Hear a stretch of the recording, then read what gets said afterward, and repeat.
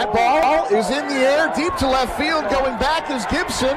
And that ball is out of here. We've got a tie ball game.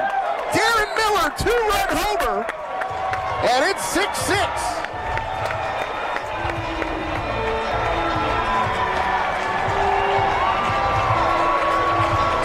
First career home run for Darren Miller.